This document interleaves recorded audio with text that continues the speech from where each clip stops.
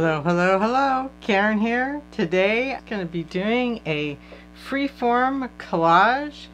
I have a bunch of little scripts and scraps of things that I had around, just left over from other projects. I have a little homemade art journal here that I made. This is just made out of two sheets of watercolor paper and they're sewn together in the middle.